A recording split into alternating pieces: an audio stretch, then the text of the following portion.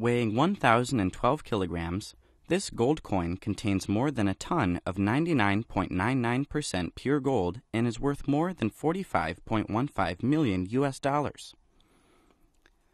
The massive coin, which took 18 months to create, features a bounding red kangaroo on one side and an image of Queen Elizabeth on the other. It is Australian legal tender and has a denomination of 1 million Australian dollars, well below the value of the gold used to make it.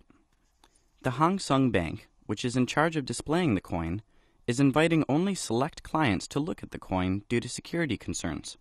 First, we do not really have a very big uh, space in Hang and we and for the lobby, it's very difficult for us to.